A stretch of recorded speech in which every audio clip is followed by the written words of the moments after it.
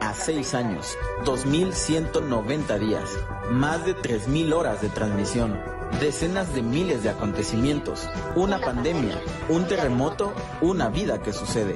Ultimátum a un sexenio. Hola, ¿qué tal? Muy buenos días. Qué gusto que nos acompañe este jueves 20 de julio. Ya lo vio, estamos prácticamente de manteles largos. Seis años de estarle informando día a día, noche a noche. Durante, de verdad, estos seis años hemos recorrido prácticamente todo el estado de Chiapas. Estamos de fiesta y por supuesto usted a través de nuestra plataforma, de nuestras diversas plataformas, puede ver los videos que hemos preparado para usted. El día lunes tendremos muchísima información sobre nuestro sexto aniversario. Yo soy Ramiro Trejo y para mí es un verdadero placer que esta mañana me acompañe y también le prometo que usted se informará de la mejor manera de la mano de un gran equipo de profesionales. La temperatura en este momento en la ciudad capital es de 27 grados centígrados. Se estima que la máxima para hoy llegue a alcanzar los 32 grados. La mínima será de 21 grados. Así que a hidratarse muy bien si usted va a salir, sobre todo el primer cuadro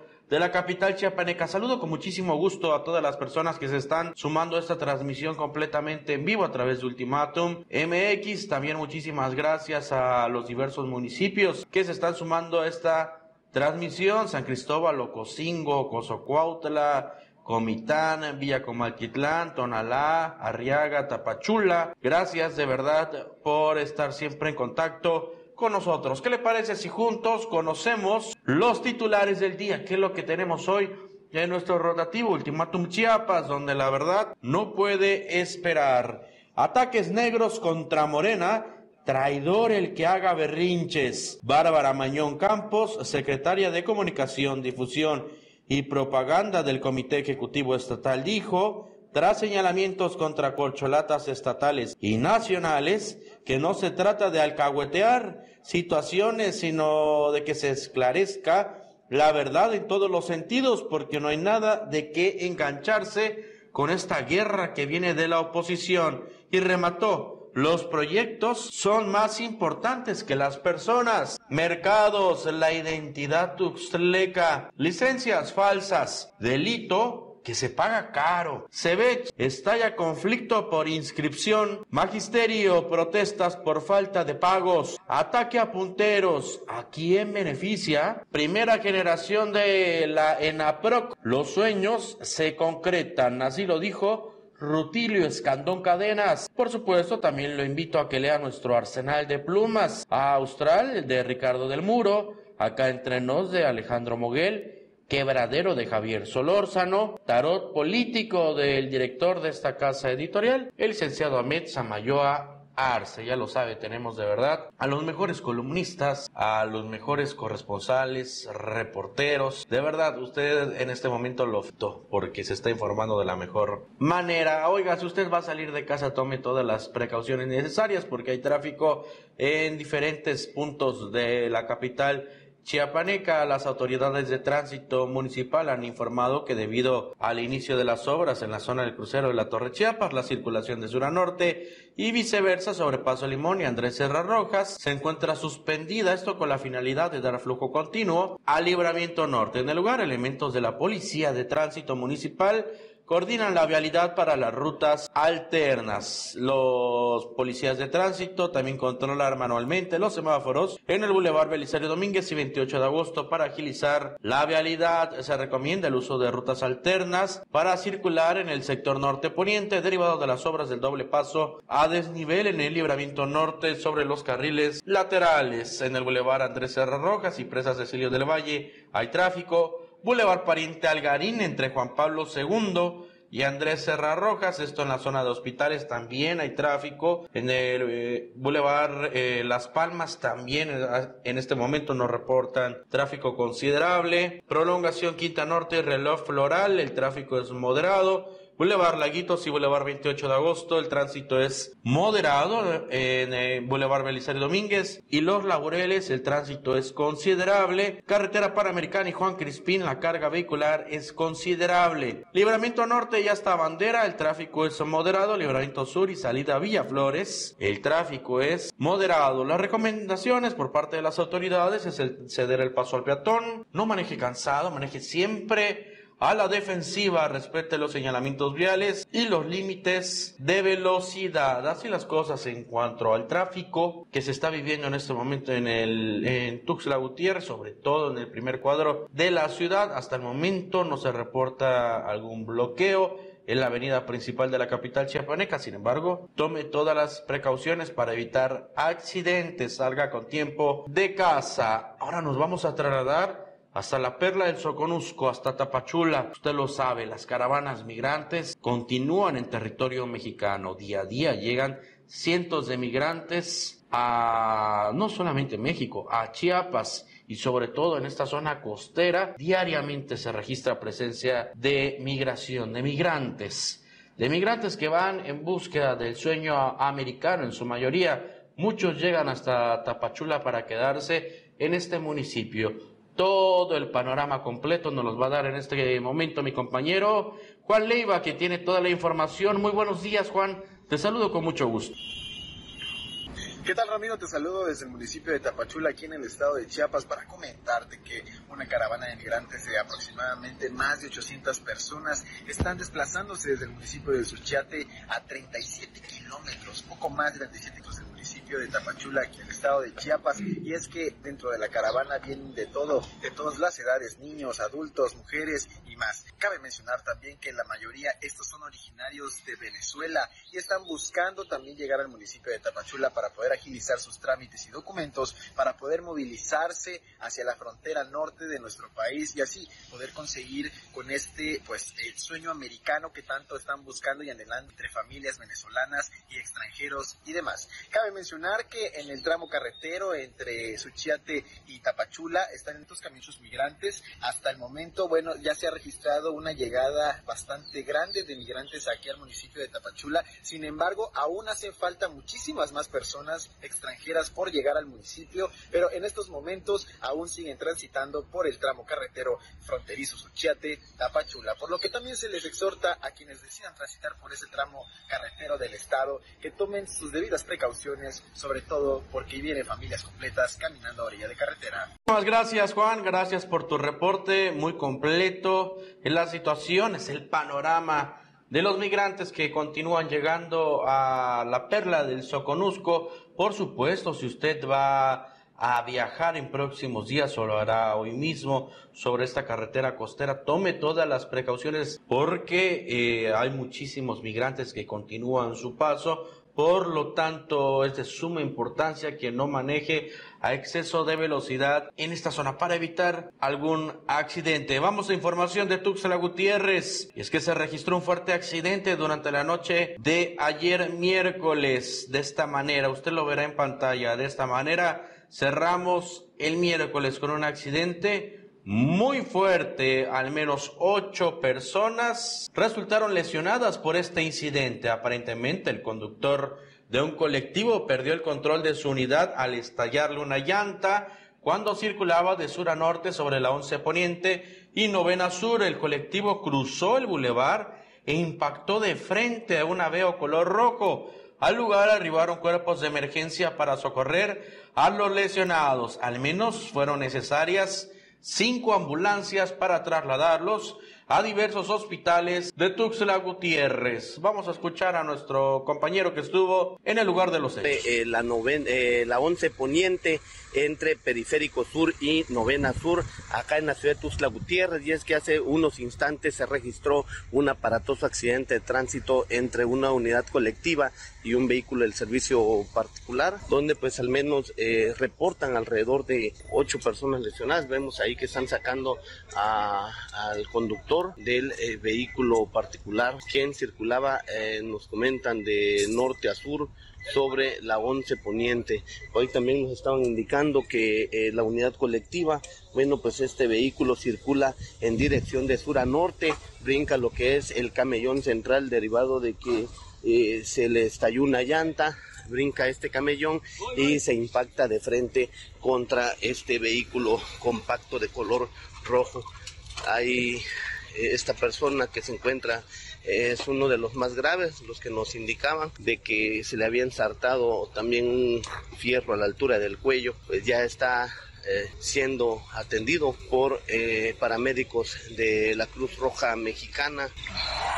Hasta el momento nos han reportado las autoridades de salud sobre este incidente que el estado de salud es estable. Sin embargo, continúan bajo observación médica. Vamos a otros temas. Aquí mismo en Tuxtla Gutiérrez, y es que ayer balearon a un sujeto, a un transportista en la colonia La Condesa de acá de la capital Chiapaneca la tarde de ayer. Miércoles se suscitó un nuevo hecho de violencia en la colonia La Condesa ubicada al norte poniente de la capital chiapaneca.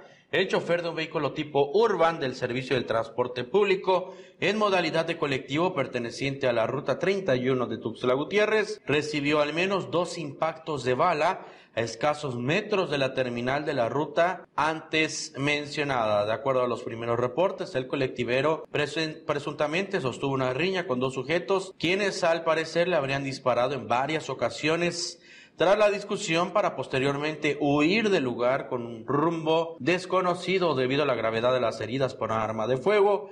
El chofer fue trasladado para recibir atención médica profesional. Cabe destacar que fueron sus mismos compañeros quienes lo trasladaron al hospital Gilberto Gómez Maza. Al lugar arribaron elementos de la Fuerza Ciudadana de la Policía Estatal, quienes acordonaron el lugar y realizaron recorridos en la zona para tratar de dar con los presuntos agresores sin tener éxito hasta este momento. Así las cosas, o una riña que terminó con impactos de bala, dos impactos de bala se llevó al menos este colectivero. Tenemos eh, palabras de nuestro reportero que estuvo en el lugar de los hechos, se trata de Alfredo Pacheco, quien nos tiene la información. Él estuvo ahí precisamente eh, cuando se acababa de suscitar este incidente.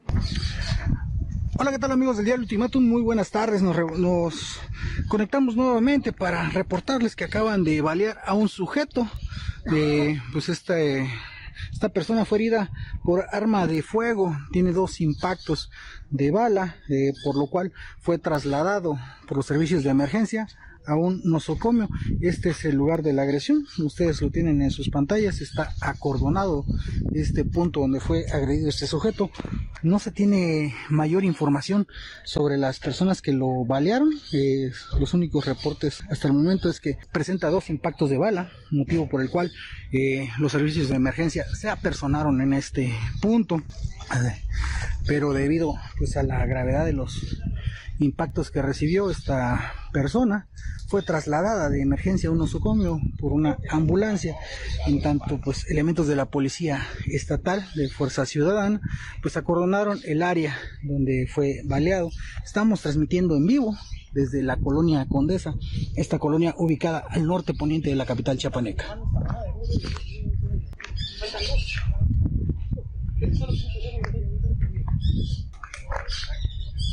De momento no tenemos mayores datos. Eh, cabe destacar, eso sí, que hace un par de días se presentó otra riña en esta misma colonia, unas calles abajo. Ahora vamos a Tapachula porque allá se registró un ataque armado. Este ataque armado dejó una persona muerta y tres personas lesionadas. Efraín Antonio, alias El Toño, originario del ejido Unión Miramar, presunto traficante de humanos, fue asesinado a balazos y tres más resultaron lesionados, dos de gravedad, al momento de salir del bar bélico. Habían abordado su vehículo para aparentemente regresar a su domicilio alrededor de las 3 de la mañana. Se registraron 32 disparos de arma de fuego AR-15 y AK-47, cuerno de chivo. Los disparos tuvieron una duración aproximada de un minuto los empleados de los negocios que se encontraban cerca del bar mencionado se encerraron y los pocos comensales que se encontraban en la zona corrieron para salvar sus vidas. Los asistentes que se encontraban en Plaza Cafeto decidieron cerrar sus puertas. En minutos también acudió el grupo de reacción inmediata de la Policía Municipal que se hizo cargo de realizar las investigaciones correspondientes. Las cuatro personas salían del bar El Bélico, se subieron a la camioneta Jeep Compass de color blanca. Los sicarios dejaron que se subieran y estando dentro de la unidad les descargaron las armas, literal. Las personas lesionadas fueron auxiliadas por paramédicos de la Cruz Roja Mexicana y de Protección Civil de Tapachula y responden a los nombres de Javier N. de 21 años, Humberto N. de 28 y Carlos N. Este último resultó ileso y fue trasladado a la Fiscalía de Distrito Fronterizo, el hoyo Oxiso, presentaba un balazo en la cabeza y diferentes y en diferentes partes del cuerpo, ya que los disparos fueron directos y certeros, es decir, de frente. La Fiscalía de Distrito inició una carpeta de investigación por el delito de homicidio calificado. El cuerpo de la víctima fue entregado la mañana de ayer miércoles para que sus familiares le dieran cristiana sepultura. Así las cosas con este ataque armado allá en Tapachula y ahí mismo, eh, en este mismo municipio, en Tapachula, se registró una volcadura que dejó una persona lesionada. La volcadura de un vehículo March dejó como saldo una persona lesionada y daños materiales por varios miles de pesos sobre la carretera Tapachula Viva México, a 600 metros de la entrada de esta localidad. La conductora se desplazaba de Tapachula en exceso de velocidad un hoyo hizo que perdiera el control del volante. Al caer en él, la joven dio tres vueltas hasta quedar con el carro parado con daños materiales por varios miles de pesos. La tripulante fue auxiliada por su familia y la llevó también a un hospital privado a bordo de un vehículo con placas particulares. En el lugar estuvo Mario Ortiz. Vamos a escuchar. Va a transitar en estos momentos, hágalo con precaución. En estos momentos ya están elementos de tránsito del Estado realizando las investigaciones correspondientes en torno a este accidente, una volcadura que deja a la conductora lesionada y el vehículo con daños materiales por varios miles de pesos. La conductora fue llevada a bordo de un vehículo particular, no esperaron que llegara alguna ambulancia y se llevan a la joven hacia un hospital para su atención médica. Estos son los hechos que se registraron aquí sobre la carretera Tapachula Viva México, los baches en la carretera es un problema y esto es lo que ocasiona este tipo de percance debido a que pues uno viene es una carretera de alta velocidad. Así las cosas con este incidente es importante que manejemos con precaución y por supuesto que no excedamos los límites de velocidad. En Tuxtla Gutiérrez, padres de familia alzaron la voz y es que como sucede cada año, año con año, ciclo escolar con ciclo escolar sucede este tipo de situaciones. El aumento a la tarifa de inscripción. En esta ocasión le tocó a la escuela Cebech, donde los padres de familia ya se manifestaron. Acusan de incremento irregular en las cuotas del CEBECH. Padres de familia del CEBECH se manifestaron por el alza en las inscripciones para el último ciclo escolar, la cual señalan se tomó de manera unilateral. Padres de familia de alumnos del Centro de Educación Básica del Estado de Chiapas se manifestaron la mañana de ayer para denunciar un incremento irregular en las cuotas de inscripción para el próximo ciclo escolar. Pero después yo mandé esa información a mi grupo y mi representante les puso que no, que se tenía que seguir las reglas de 1.200 pesos, que eso era, firmar, el, firmar un reglamento que no está regulado por la Secretaría. Este, entonces, pues eso me extraña porque si el director dijo que 800, ¿por qué la, la tesorera Liliana Larios Arriaga, una de las madres de familia, comentó en entrevista que el monto de la cuota de inscripción pasó de 700 a 1.200 pesos de un ciclo escolar al otro y que varios padres de familia consideran este aumento desproporcional ya que es casi el doble. Detalló que la decisión de aumentar la cuota para el ciclo escolar 2023-2024 se habría tomado de manera unilateral por los miembros del Comité de Padres de Familia y sin consultarlo de manera democrática con el resto de los tutores. Larios Arriaga agregó que el director del CEBECH reconoció el alza de las cuotas en una reciente junta y que él dijo que podían pagar 800 pesos y los iba a inscribir sin ningún problema. Sin embargo, la negativa viene de Wendy de los Santos, tesorera del Comité de Padres de Familia. Para finalizar, la madre de familia indicó que los padres han señalado a De los Santos por no haber entregado cuentas de que se han hecho con los recursos de las cuotas del ciclo escolar que acaba de concluir. Con información de Alfredo Pacheco, para Diario Ultimátum.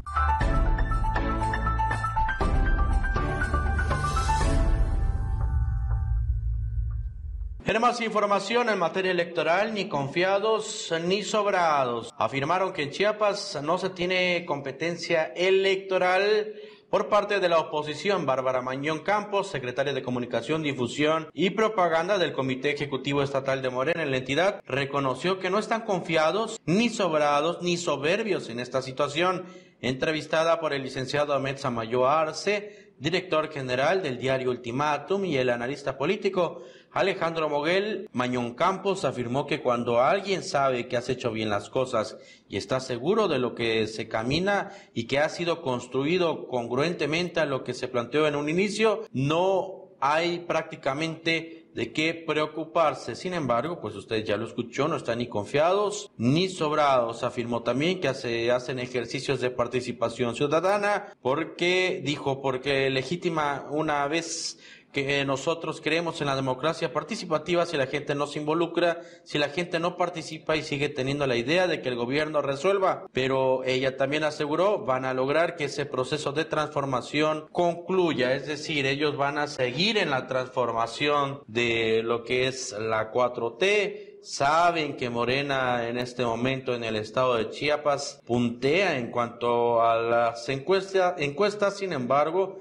no están confiados y siguen haciendo bien las cosas. Vaya para que la gente continúe en este camino. Es importante mencionar que dentro de este partido pues ya están las encuestas para saber quiénes serán prácticamente los candidatos de, de las próximas elecciones del 2024 que están a la vuelta de la esquina. Recalcó también que el proceso que se empezó, se establecieron las bases, pero no está cerrado. Sin embargo, la ventaja que tienen es que creen que es muy cuantificable quiénes y por qué son los detractores de la cuarta transformación en general y no van a dejar de lado, ya que eso no van a poder cambiarlo. Mencionó que existe un ala radical que critica la 4T, insulta al presidente de la República, pero son aquellos que se vieron afectados en cuanto a sus intereses. Vamos a escuchar qué fue lo que dijo Bárbara. No les va a salir. Ahí lo único que tenemos los compañeros, como ese paisano y como muchos otros, es estar firmes. Que si están firmes con el proyecto de la 4T, no hay nada absolutamente de que engancharse con esta guerra que realmente viene, por supuesto, de la oposición, porque el medio reforma con todo respeto, le ha hecho el juego sucio a la oposición sistemáticamente desde que el presidente llegó. Y ya digas el paisano, ya digas tu servidora o cualquier, cuando Luisa María Alcalde la nombraron desde GOP, no sacaron hasta fotos de que, que al final, aunque así saliera en paños menores, eso no es bronca de nadie, ¿no? O sea, pero van a agarrar y como el paisano ha tomado una posición importante frente a la Junta de Coordinación Política. Si antes no era blanco de los ataques de la oposición, hoy sí lo es. Hay que aguantar y hay que, eso sí, siempre salir a dar la cara, diciendo la verdad y estando seguros de que lo que decimos, pensamos y hacemos es lo mismo. Y bajo ese esquema no vamos a dar. Vamos a cambiar por completo de tema. Hablemos del gobernador del estado de Chiapas, Rutilio Escandón Cadenas, quien asistió a la graduación de la primera generación de la escuela de PC, el gobernador de Protección Civil. El gobernador Rutilio Escandón Cadenas asistió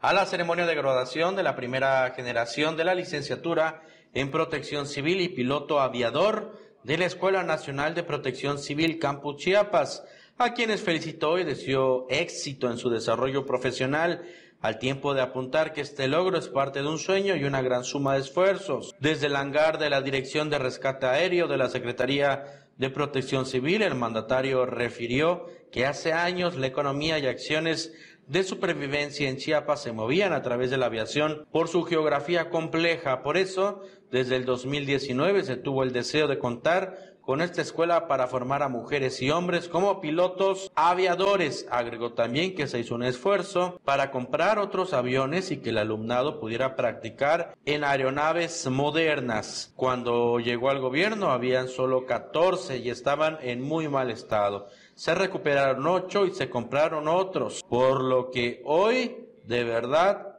él aseguró que están haciendo bien las cosas. Hay que recordar que estas aeronaves están al servicio de la población, son de rescate aéreo y tener por supuesto, a estos egresados de protección civil será de suma importancia también para que ellos sean quienes puedan pilotear todas estas aeronaves. Vamos a escuchar qué fue lo que dijo el gobernador del estado de Chiapas. Vamos a seguir trabajando, no vamos a bajar la guardia es más, vamos a seguir creciendo. Ya le agarramos el hilo y no lo vamos a soltar. Me da mucho gusto saber que la Escuela Nacional de Protección Civil, cuando inició este gobierno, eran 183 personas que hacían uso de estos espacios educativos. Hoy han rebasado los 3.000. Hemos crecido muchísimo. Es una escuela ya importante, muy importante a nivel nacional. En más información, hablemos del pronóstico del tiempo, que es lo que dice el Proceda, emitido por las autoridades de protección civil. Se esperan lluvias muy fuertes en las regiones norte de los bosques metropolitana, Altos, Tulijá, Maya, Selva Lacandona, Istmo Costa, Sierra y Soconusco, por lo que exhortan a reforzar techos, ventanas y puertas, sobre todo en, en las zonas metropolitanas, no circular en zonas de riesgo, que eso es lo que genera accidentes y también pérdidas de vida. Es importante también que cualquier emergencia usted la reporte al 911. Antes de terminar con este espacio noticioso, lo invito a que hoy se informe en punto de las 7 de la noche con mi compañero Daniel Aceituno, por supuesto, ve Arsenal de Plumas. La entrevista de hoy en punto de la una de la tarde, de verdad será un tema importantísimo, un tema en tendencia. Usted se va a informar con esta entrevista, se va a entretener. Escríbanos, escríbanos, queremos leerlo, queremos saber todas sus opiniones. De verdad queremos estar en contacto con todos ustedes. Ya nos vamos familia. Antes, por supuesto, lo invito a que Siga nuestras plataformas Twitter, Instagram, YouTube, TikTok, nuestra página web www.ultimatumchiapas.com. Yo soy Fui Seré Ramiro Trejo, espero que pase un excelente día, que pase una excelente tarde y por supuesto que pase una excelente noche. Ultimátum a seis años, 2190 días, más de 3000 horas de transmisión, decenas de miles de acontecimientos, una pandemia, un terremoto, una vida que sucede. Ultimátum a un sexenio.